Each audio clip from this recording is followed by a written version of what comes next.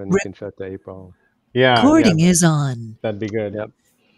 Yeah, I have uh, I have a bunch of file boxes that I slowly fill up, and then as they get towards full, I then package them up and truck them off to the storage unit. And, and I That's a bought way. a, a nice small scanner. Pete, you'll remember I was wondering about uh, like getting a scanner or whatever, and I got a, a small ScanSnap from Fujitsu, and Yep. the, the ScanSnap series is very very nice. They're just like really good scanners, and this little one is a gem, and it's kind of astonishing, and it like moves very quickly. It's not that small. It's the next size up. Yeah, Okay. um, and and yet I find that I need to shift myself into oh, okay, I'm going to i'm going to scan something now, right? Uh, I need to do that even for shredding, where Yeah. like if I if I have a bunch of stuff, I just wait to shred because I don't want to do it in the So do moment. you have, like, I gotta be in shred mode. Yes, I do. I have a That's- stack of stuff to shred. Well, that's good for shredder right security. here I, also. I think that's I think that's standard standard practice. Usually know, get to uh, shredding once a month. I know a lot of people who have a you know a little letter sized box or or you know something where shred stuff accumulates. shred stuff. I've got this uh, that box right there is a is a cool scanner Oh, um, from CZUR. It's actually uh, a little camera on a and a stand and a Oh, light like- and stuff like that. Their their Oh, newest one looks really cool. It's a combo webcam, uh, you know, drawing on stuff, uh, streaming cam, uh, scanner cam. Oh, interesting. yeah. So you can actually uh, do a demo, do demos with it and stuff like that. Yeah, and it folds in you know different ways. How like the camera on Pete? You've heard me say this before, but the camera this small on my smartphone can take pictures as good as any Canon pocket phone I ever carried. Not as good as the you know Canon DSLR uh, or you know whatever uh, mirrorless thing I've got now, but but just about. And and so and they're cheap as hell too. Like the hardware cost is pretty darn low, and you put one on a stick and and hang it over something, and and you're like go. Sort of crazy. Um, let me come back and think about that. I, I've got a local uh, question. Okay. Um, interesting. I mean, like, I know that the Web Archive open sourced a bunch of um, their like scanner specs that you could slot a phone into, but you had to keep it like at a particular angle and very steady and have the right lighting and all of that stuff. Mm-hmm. All seems like too much to fit inside my New York apartment. Yeah, yeah. Alas, we moved to a considerably bigger place a year ago, and it's it's problematic because now we're expanding to fill the space, and that that's just dangerous because when you downsize, the opposite thing has to happen, and then it's hard. Chris, Yeah.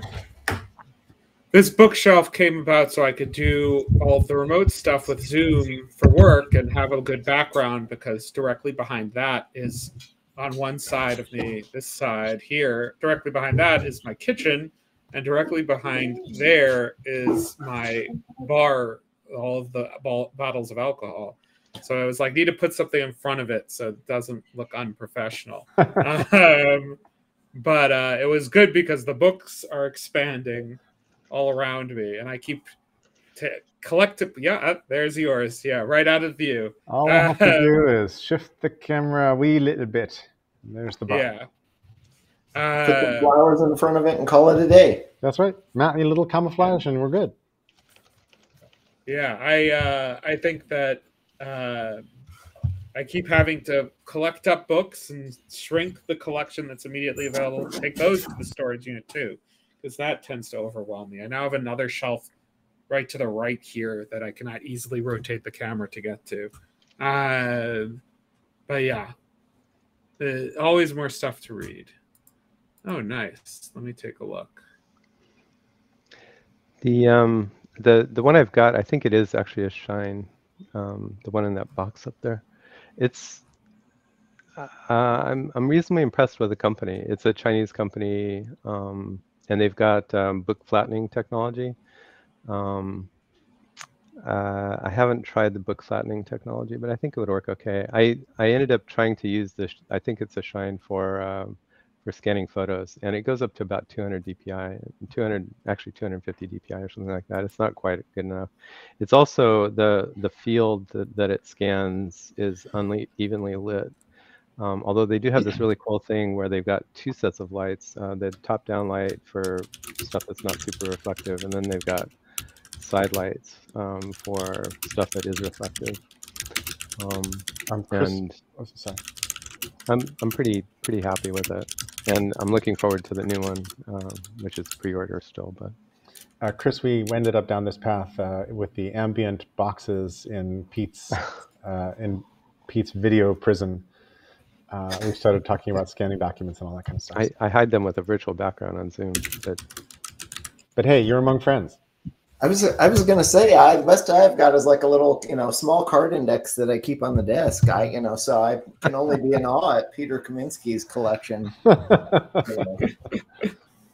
I, I do have a thousand pound like twenty plus drawer card index that I'm refinishing, but it's going to be a while before I can bring that in the house. Library or from where? Uh, it is. I don't think I've dated it yet, but it is probably mid a mid fifties singer, and it is. Oh, I actually have a. I can do a little small Go demo. and tell. Oh, they're This big. is, this is the the thing. So it's you know, this is a four by six card. Is it for punch card? So it's much bigger than a punch card. It's but it's also it's it's slightly larger than the old punch card size, um, which is I mean it's a kind of a punch card shape, uh, and it also has a weird mechanism in the bottom for the file dividers, which was uncommon. So, Um, so if you got enough of those to basically stack them up and do an entire wall, would that be the 1900 equivalent of a video wall? Could be roughly, yeah. Kind of. Mm, Mm, I'm just saying, comedically, metaphorically. think think of I, I'm thinking Zettelkasten. Well, this is the. I mean, you could do Or- or Zettelkasten in those index. You could do Zettelkasten with those index drawers, right? Yeah, I don't think this one was meant for business use, assuredly, be- because it's so large. It was not. Usually, the smaller ones were the two or four drawers that you would put on your. Usually, not even on your desk. You'd do them on the credenza behind you if you had a small personal collection. Um, So my, there's only a hand, only a handful of academics I've ever seen go past you know eight or ten drawers, at least in my research. So. My, my favorite paper handling personal story is my first job was at Mobil Oil before it was ExxonMobil in the transportation department. And every morning we came in and opened the mail, and we would take the fifth revised page 242 and replace the fourth revised page 242 in a tariff from the federal, uh, the, the ICC, the Interstate Commerce Commission, which which tariff, and then we would put the fourth revised in the back because we had to do audit later, and you, you needed to keep every version of every page like a wiki. Um, and and then the rest of the day would be spent answering the phone as people from wherever called up and said, "How much does it cost to move packaged lubricating oils from McKees Rocks, Pennsylvania, to Allentown?" and you'd be like, "What's the product?" And you go up and look at the product number and all that. And, and oh, and the file room was rotating file cabinets and like the the old physical, the old physical thing with three ring binders. Very exciting. This this is kind of like my stint at the HP marketing department as a contractor. Um, it was like 1993 when the web was brand new, and uh, I was doing web programming, actually some pretty fancy web web coding for the marketing department. Um, the marketing department is was where all the competing factions, you know, the, there were like three or four different, four or five different printer divisions and three or four different scanner divisions, and they, they all hated each other, and all of them were like, you know, so then everybody funneled down to the marketing department, and we got to decide, you know, how to how to present printers, you know, like like it was one cohesive product line instead of five warring factions. But um, and and then as as contractors, we were the ones who actually could get stuff done. Uh, the staff was like in meetings literally all day, every day, not not doing anything. But um, I'm poking around the internal um, uh, information system and found out that you could just order these uh, reprints of, of articles, you know, technical, you know, internal technical articles on all kinds of like things. So I'm like, you know, I'm like, wow, that looks really cool. And so I put it in my cart, and pretty soon I've got a cart full of 20 papers of all kinds of random stuff, right? And I click order, and it's like you just order these things, right? And then they show up in inter-office mail at some point. So like three or four days later, I, I get a visit from the manager who's you know I'm, I'm working under, and she's like, okay, so it's cool, but who the hell ordered all these random technical articles in the marketing frickin' department, right? And it turns out that she had to pay for all of them. Oh, I didn't realize. I was wondering that. if there was an interdepartmental charge or something. Yeah. Yeah, yeah, and it wasn't like you know, it's obviously if you need it, you just order it, and, and your manager pays for it. But I was ordering stuff that she did not want to, you know, she did not need in the marketing department. But I felt so embarrassed and so bad, and I offered to pay for them. And she's like, "No, no, no, it's fine. It's no big deal. You know, that out of my budget, it's not that big of a deal." But it was super fun. That's hilarious. Love that. there were there were people who's as, who like literally would it was also a massive it used to be an old manufacturing facility in in the heart of silicon valley and it was this massive shop that you would get lost in. Literally it was like as big as a mall. And so you'd like weave your way it took like five minutes to walk from where you parked you know in that end of the building to where you were. So you'd walk by all these people. There was one guy who literally all day every day was playing uh, solitaire whatever you know snakes or bombs or whatever i forget. But it was like and you could see his the way it w- worked. You could see his. He didn't have boss mode like the whole time. No, it's like whatever. You know, I'm playing playing my game. It's like okay. Wow, that was weird. Um, what freedom? Sorry, fellowship of the Linky kind of things are on people's minds at this at this point. Um, I have a bit of an update on the Thinking Tools map project. Please. Awesome. Um, and then I, I kind of need to leave uh, for another meeting. Thanks for coming back in. Sorry about the time. Yeah, no worries. I think we're, and the US is, because of daylight savings time, we're an hour off from the rest of the world right now for this week. That might actually be part of the computer. So if, if the time is hosted non-US, yeah. would, I think, explain it. Uh, so um, so that project is right now the three of us, Matthew and Bill Anderson and me. Um, and um, we ended up, we've, we've been doing asynchronous collaboration and uh, I don't know, we had, I did a big move, Matthew did a big move, and then, and then um, Matthew was sick, basically. So we've been kind of um, off. So today at Massive Wiki Wednesday, we had a great uh, kind of get together and got to go through some of the stuff. Um, we figured out uh, a little bit how to distinguish tools and practices as we're um, accepting those and putting them on the wiki and stuff like that. Um, I accidentally talked them into, we want to do a, a card sorting exercise essentially on um, the dimensions we're talking about of how to judge tools. and my immediate when I saw Matthew's got this great table of about 10 things. Um, and when I saw that, it's like, oh, I want to pull this into Airtable and think with it. Use Airtable as a thinking tool to make more of them, judge them, uh, add to them, and things like that. And that seemed like a really natural thing for me to do. Um, uh, so I suggested that, and then Matthew said, "Well, shouldn't we just do it in the wiki?" And then I, I was like, "Yeah, we should probably do it in the wiki." And but then he got talked into doing it in Airtable. So we're going to do it in Airtable. Um, I'm going to show them how how to do that next Monday.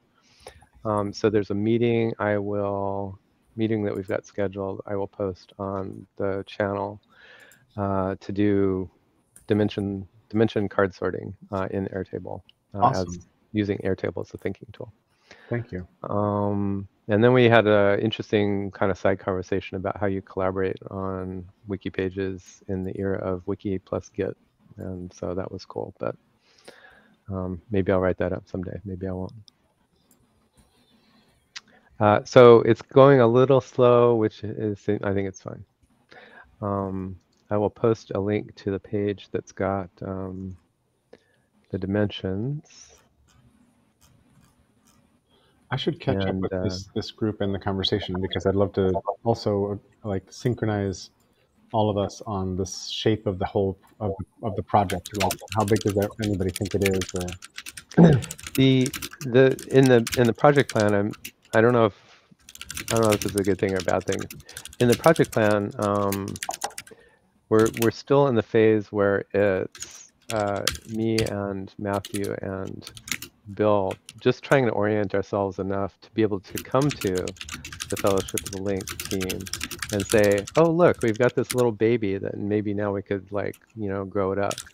Um, so we're we're we're like pregnant with possibility more than we have an actual baby. Um, uh, but so it's it, in some ways it's a little early. Um, so this is uh, we have it on a random, totally random, uh, literally totally random uh, domain right now. But this is the, the a page in the wiki with the dimensions that we're working on. Um, and then let me grab the calendar event for next week. And it's if you it's don't please don't have FOMO for this. but uh, um,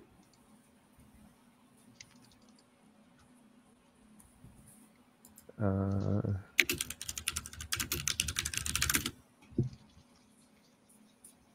wow, that's an ugly link. Oh, maybe maybe while I'm maybe a bit of patter while I'm uh, swapping links around. Uh, I'm also right now working on some code that parses Zoom chat files, um, and there's a different couple different formats for that. So it's not. It's it's funny. It's taken me hours and hours and hours, and then I'm always feel embarrassed that it's taken hours and hours and hours. But it actually Everything does now. there's there's these weird kind of corner cases where uh, line endings are different. Um, they use they, sometimes they use a, a character, a Unicode character called line separator, um, hex 2080 or something like that, 2028, um, and it's hard to see. And if it if you bump into it, you know it's not it's not obvious why you bumped into it, kind of. Um, so anyway. Um, so this is the meeting on Monday. Um, and again, Given- it's Yeah. I, my first I- impression of M- Matthew's maiden martyr draft mhm, is that he's got some good stuff, but I think probably one of the things that would be most useful for pushing part of the agenda that we're all hoping for. His his openness axis is too dense by a magnitude. And i so there's kind of openness as you talk about you know free and open source stuff and apis and import and export. But i think if you pull out open standards as a separate item or a separate access yeah, uh, you'll get a lot further, a lot farther. And I love that it's high up and one of the first things on the table, which then kind of gives it that, you know, extra, hit- or at least in this presentation, depending on how you present it, it may change the shape of what that data looks like. But I think Yep. by saying there are progressive sets of standards that we're trying to support here so that my tool will interop with, operate with every other tool focusing on that as the the thing. Because a lot of developers particularly developers will look at this as a checkbox exercise. How many of these can i check the boxes on? And they'll check the easy ones. And the hard one is supporting the standards so that the data you put into my tool will work with 10 other tools. And Yep. that's the harder problem. And it's the problem no one wants to play with no one work wants to work on.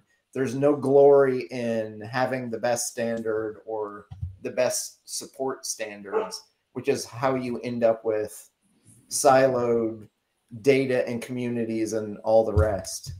Um, So I think I- just breaking that one thing out, like Yeah, will- that's, a really good one, and maybe I'll go back through the recording and and try to take some of that wisdom and move it into move it into that page or the, the collaboration around that page. I I think the the the one thing is that the the group here and there's a few others that I'm in, uh, Flotilla for one, where we actually judge judge fitness and and beauty uh, with the amount of interoperability we have rather than the other way around, right? So um, there is, it's small right now. It's a, a few folks like us, but there is a movement to be interoperable rather than, you know, making sure that you get more boxes ticked or something like that. I mean, I if there's, I, I attribute it more to having done work with Tantek Çelik. You know, you need to have a Yeah. tool that you actually use, and if you're not using it, then it's a total loss. A lot Yeah. of people go out, "Hey, I'm going to build this great tool for the masses," but they don't even use it themselves, and it's Yeah. and and usually it re- results in the thing suffers from UI because you're not actually you know self dog fooding it, which is Yep. not the greatest metaphor, but you know is that thing. And then second, can I can I build it so that it will work with other things?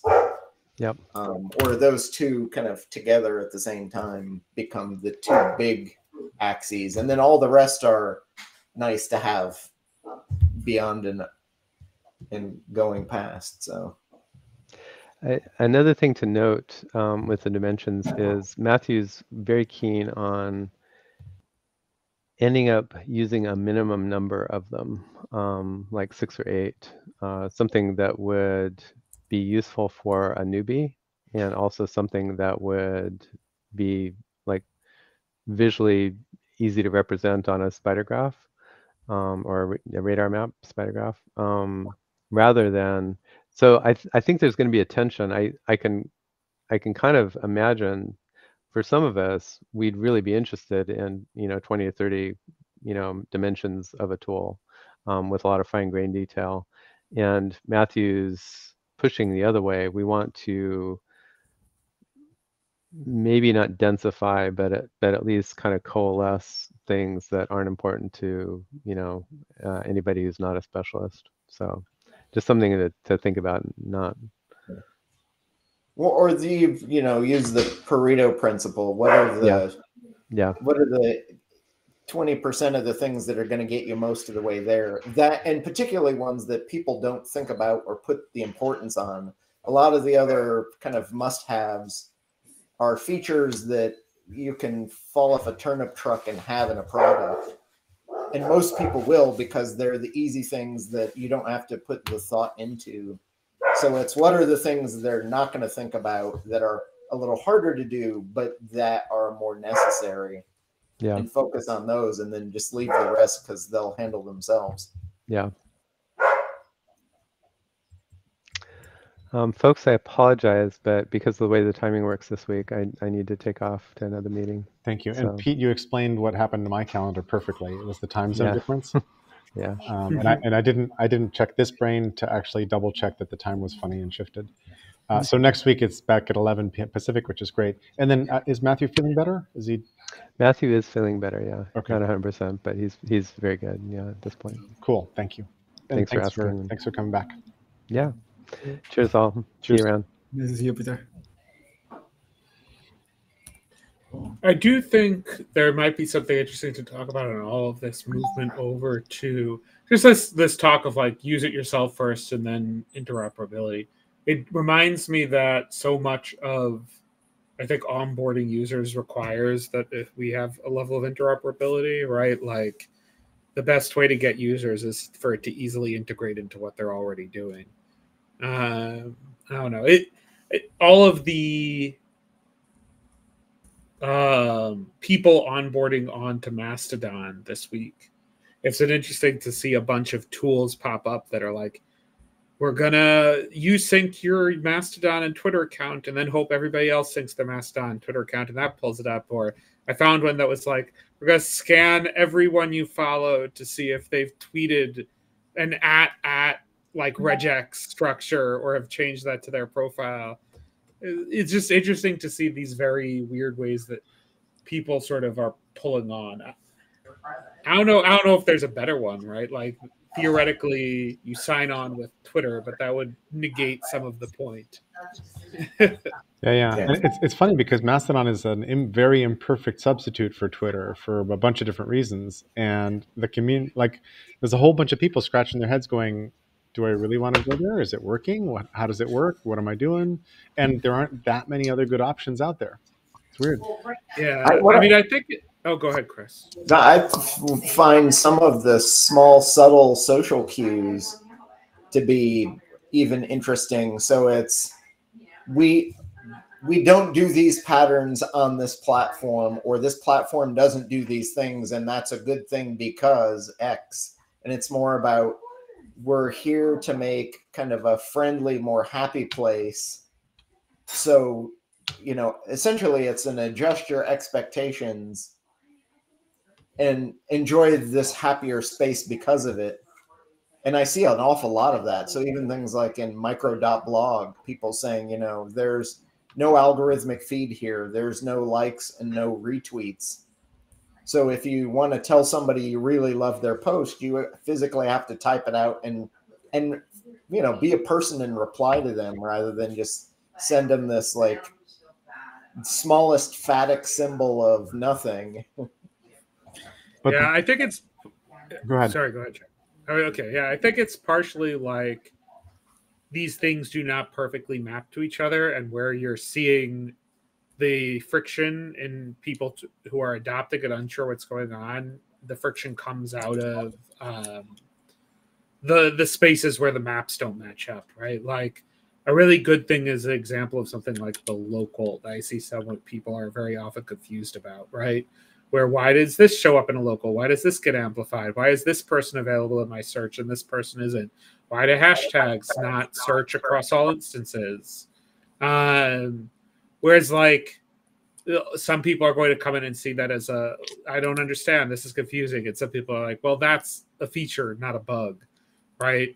And some things, it's interesting because I think like what unlocked using Mastodon in many ways for me was the realization that one, don't be on the main instance. That's bad. Like the main instance is bad. You're not going to get what you want out of it because the instances are designed more to be like a Twitter local, or sorry, not a Twitter local. The instances local is designed to be more like a Twitter list, right? So like you want to be a main on one instance, but also you really want to lurk on a bunch of other instances, right? Like I have the main instance I'm on, and then I'm on like an artsy instance where I have absolutely nothing to contribute, but I like seeing the art. And then I'm like also on um, like a, a socialist instance where it's people talking politics. And like the rules for talking politics there, very different than the rules talking politics on some of these other instances. And that's intentional. Um, Col- Kolektiva dot social is the one that I'm on. Um, lurking. Um, think that's how it's pronounced. But uh, yeah, and like that's sort of the secret to unlocking. Like Twitter, the algorithm sort of makes lists for you, right? Where you're seeing a subset of the people that you want to follow and the people that they follow and they engage with and amplify um, on your feed naturally because the algorithm sort of caters it. But I think the the thing that people have the most trouble understanding with Mastodon is no, no, not uh, here. Let me get the right URL. Um, the thing that I think most people have the trouble understanding on Mastodon is that like it's not just that you can't cater it; it's that the point is to fracture into lists, to fracture into um, instead of lists, instances, right? Like the the minute the instance gets too large, it becomes less useful and a worse experience, which is why Mastodon.social is the worst instance. Yeah, makes sense. I, I think there's also like a difference between like um, a Mastodon and activity ActivityPub, right? Like uh, apparently, you know, so Mastodon actually is actually quite conservative in my experience when it comes to implementing features, and they have pushed a lot against like any kind of algorithm uh, algorithmic feeds, which is not the case for Pleroma, I think, for example. Uh, and uh, it, to some extent, uh, I think in in I mean oh, everything you're saying is, is correct for Mastodon, but it, that's only Mastodon, I think. So that's the that's the other realization, which is like I think the favors can fit both or like presumably all uh, preferences in that sense. And also, there's right. the Blue Sky proto- protocol, which uh, which is Twitter people basically trying yeah. to invent an, uh, a, a, a, protocol to open source Twitter exchange across any kind of tool, which is a very interesting thing, but the people doing it are sort of the wrong people. It's kind of weird. Uh, and there's a well, coming there's a coming soon you know thing you can sign up to be to be told when it's available, but who knows when it's going to be available because this would be the perfect moment for it to be available. Right. But I don't think it really is intended to be that, right? Like they didn't hire the right people to do that and the current version of the protocol does not appear intended to do that. It's something else. Like one of the lead developers there is the person who built Hyper and Dat, right? Um, yes.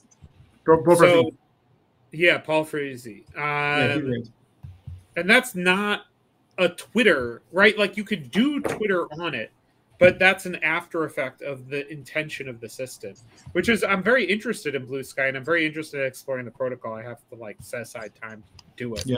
But i mean uh, what what happened there i don't know you know uh, did you did you check out when it was around citizen?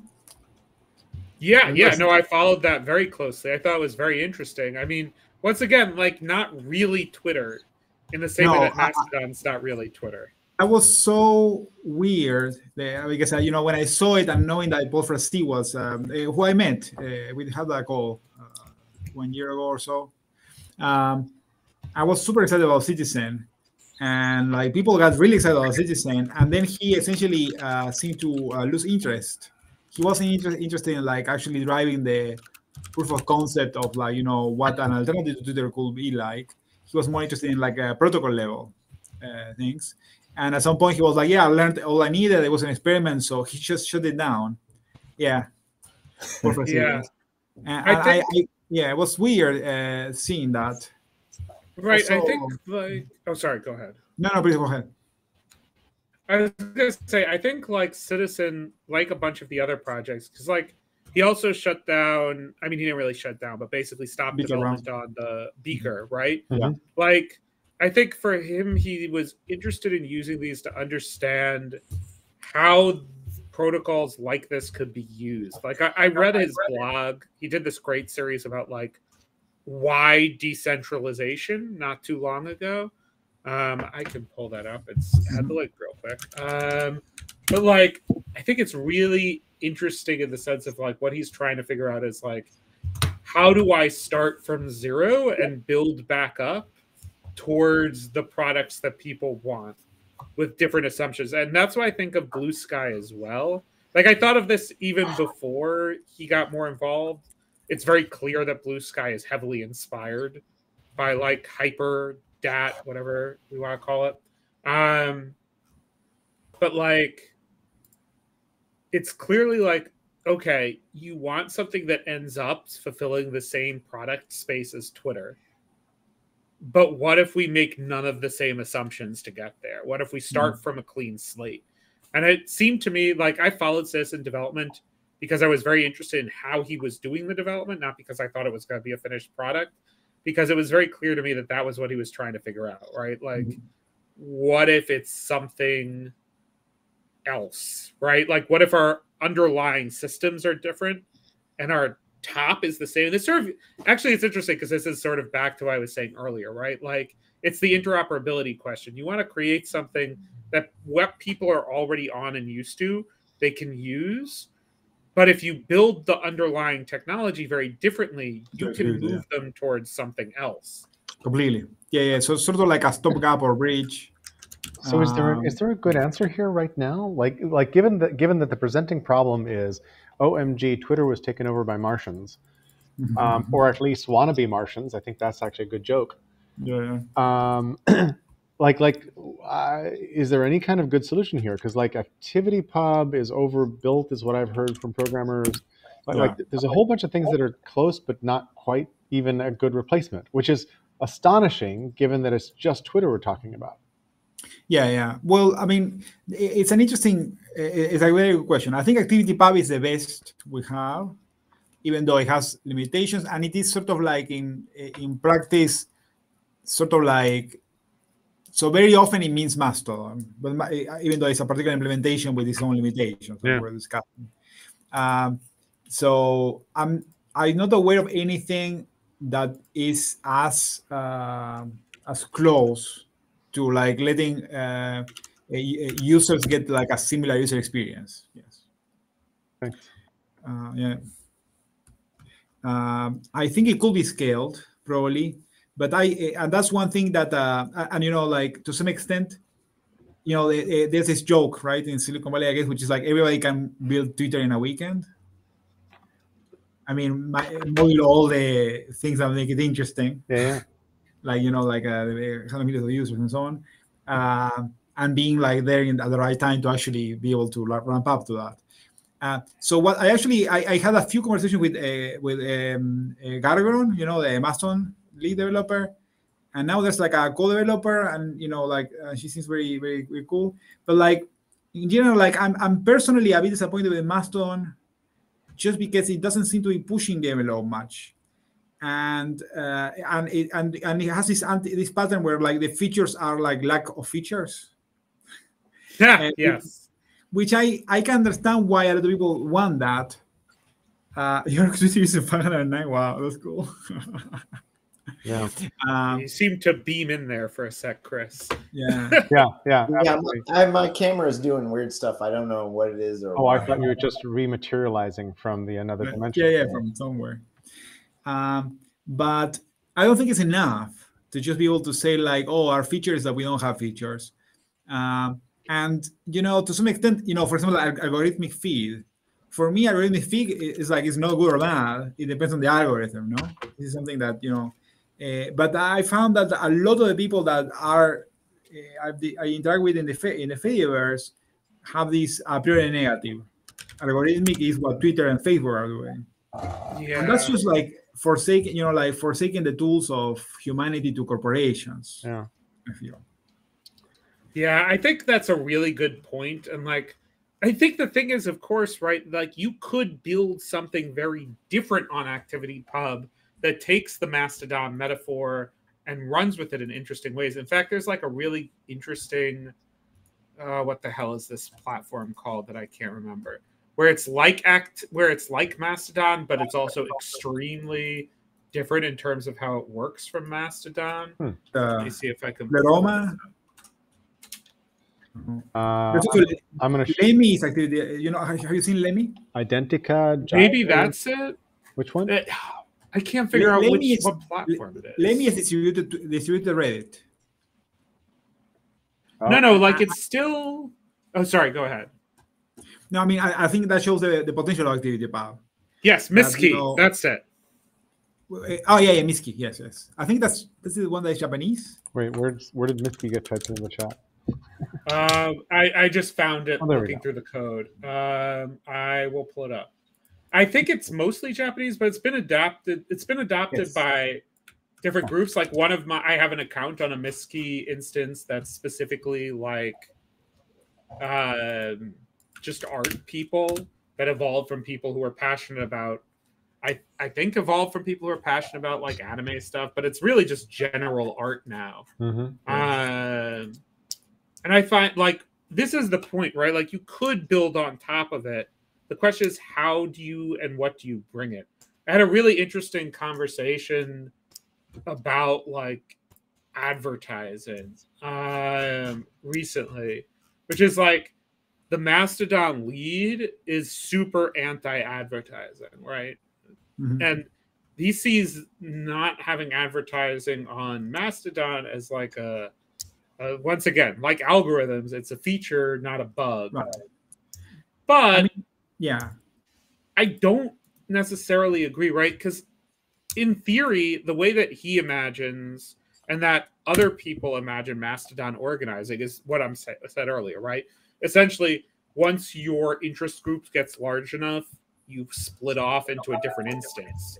But in actuality, there's going to be centralized entry points like mastodon.social. Yeah. And the ability for anyone to scale them is very restrictive because things cost money, right?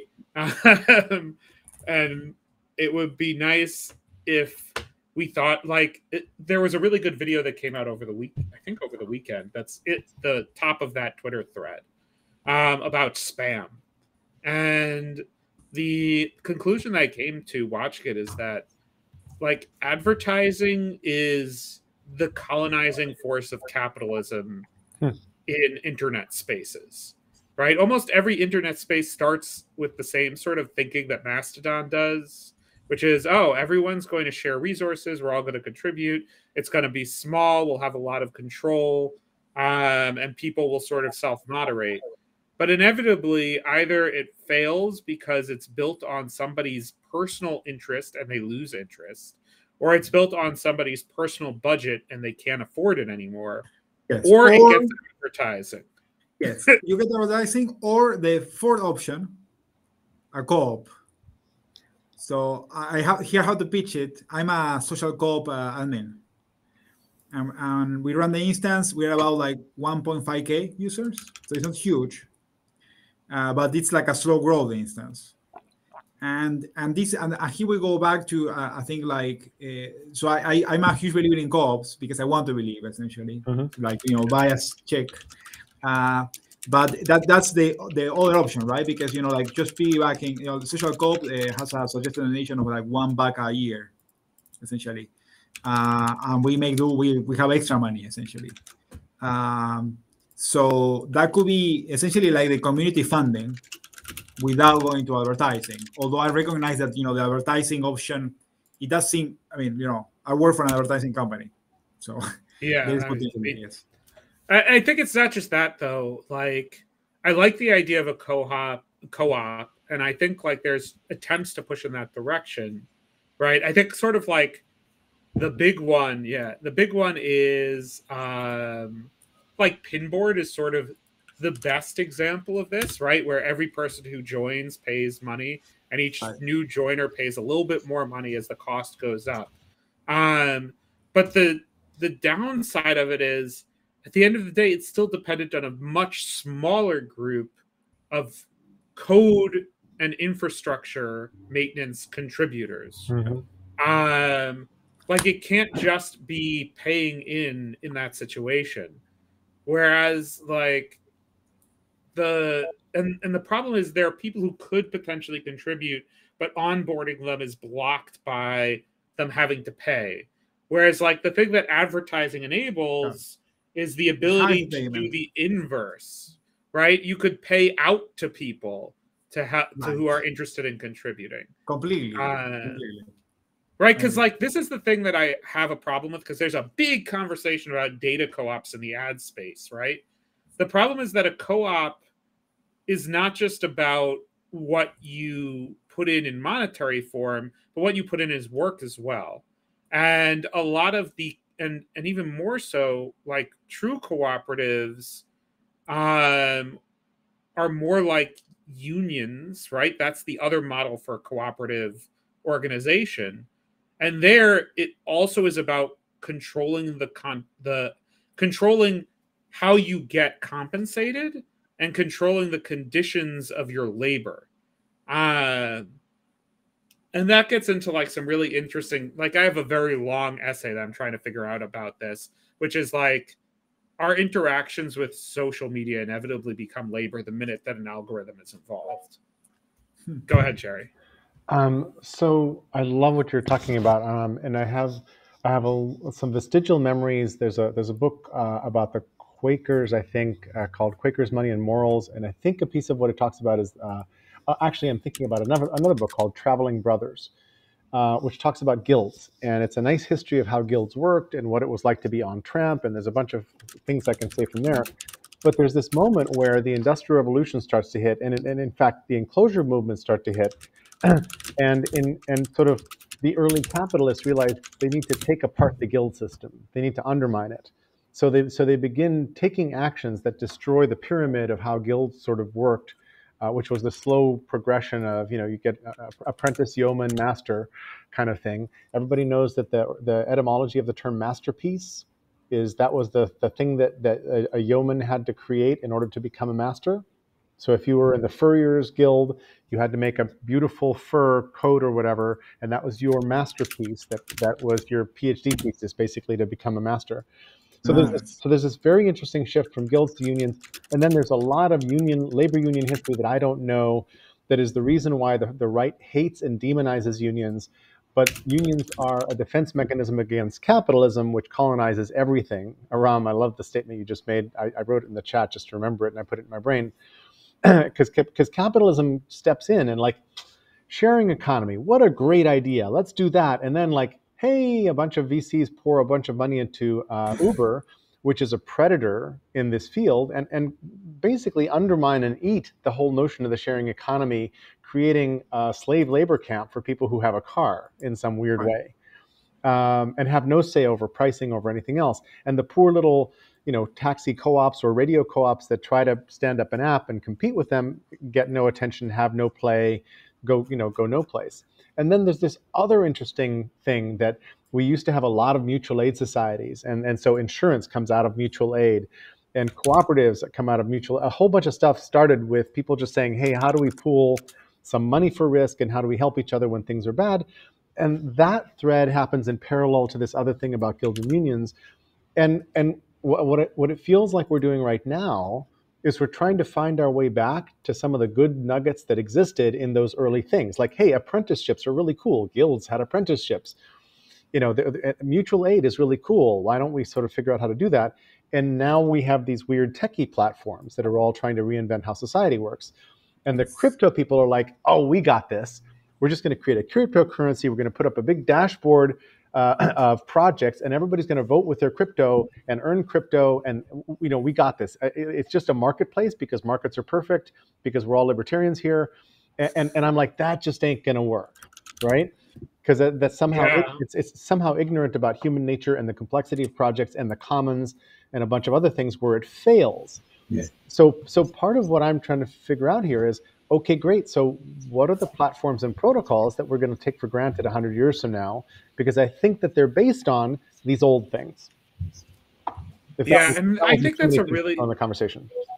You know, I think that's a really good point, and that sort of gets to like what I was thinking in that Twitter thread about ads, which is that like the way to get back to these things that are in like that type of model is intrinsically anti capitalist. And so if you want to return to it, like you can't half measure to that. Inevitably, either you go to some form of revolution or it is defeated by capitalism. Um, and I think the model that a lot of these internet projects take is that we're going to defeat capitalism from zero. Like that's that's what we're going to do. But the problem yes. I have with it, right? It, besides that being very difficult, like I said, I, I said this in the thread, right? Like I would love to kick off the revolution tomorrow on Mastodon. Let's do it. But that's not realistically going to happen. Mm-hmm. And so, like, the alternative in my mind is there's a really good book about um, unions, modern unions by um, uh, I can't remember her name. I'll look it up after I'm done talking. But like she talks a little bit about this, and I don't think it's really sort of the topic she was trying to get into. But as I'm reading it, I'm thinking about this more and more, which is that you can't get to the revolution that you want in these spaces until people feel safe. Um, and to get people safe, you need to have an intermediate step, right? So like you need the and that's what I was thinking about advertising, right? Like if you don't if you don't create a situation where you're creating safe, private, privacy friendly, non surveillance versions of advertising that can allow people to host these things more easily, make money off of hosting these things, and make a living, then they'll never get to the point where there can be capable of contributing to a revolutionary movement. Um, and like, it, if you don't create that step, inevitably the bad version, the worst version of advertising will colonize that space. So, and this is where like I am going into a space where I need to think more about it, and you probably need to read more about it, right? Me too. But, but, Uh, but you're digging in exactly the right place. This is one. Yes. Right.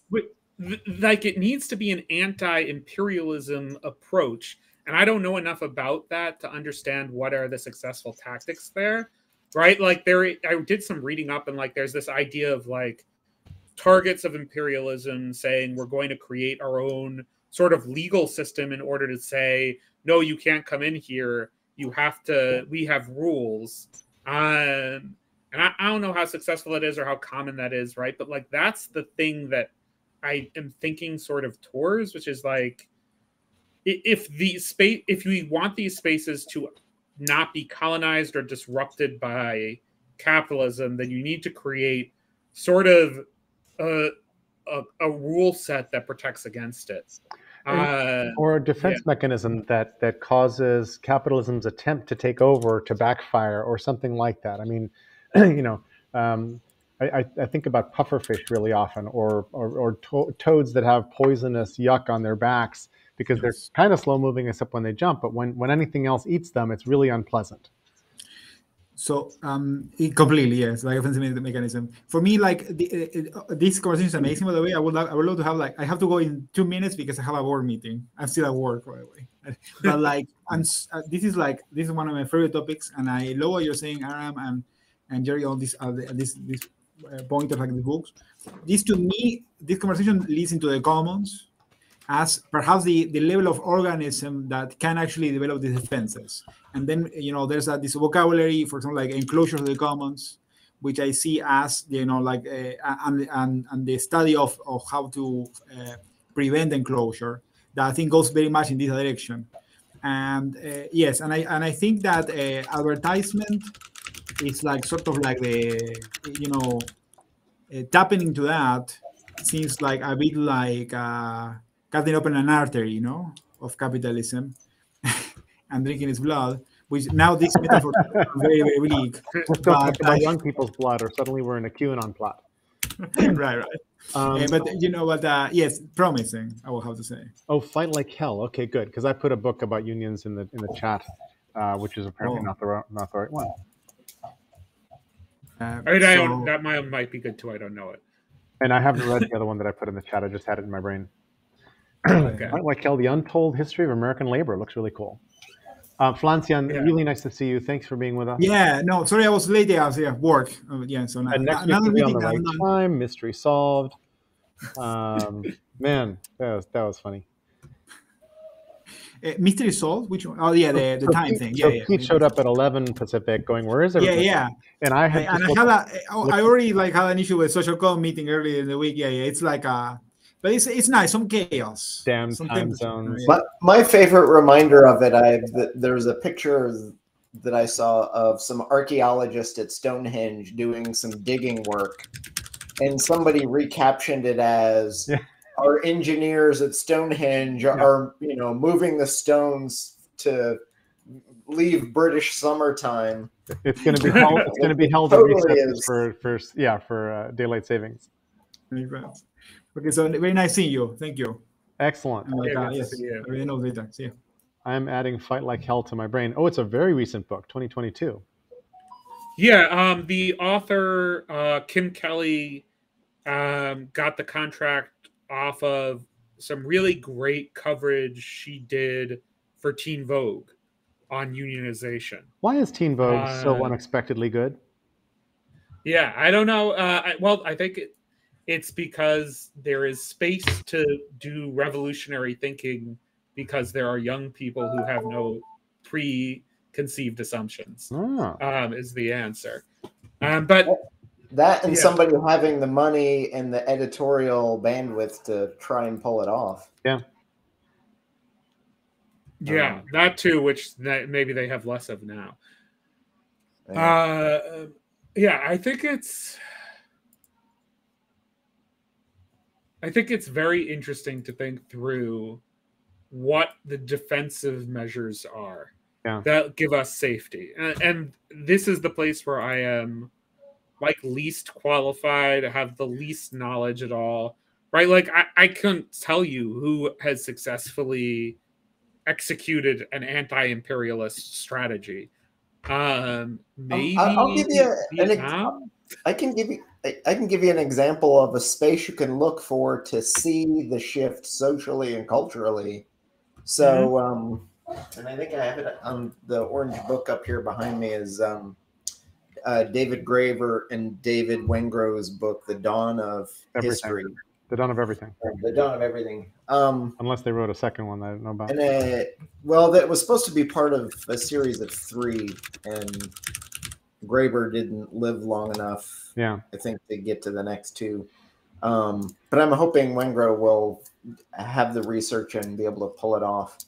Um, but essentially, they look at our modern idea, the modern American idea of freedom and liberty, and they trace it back historically, and it really comes from indigenous Americans and thinkers who left America and went to Britain and France and had conversations about how their societies were structured.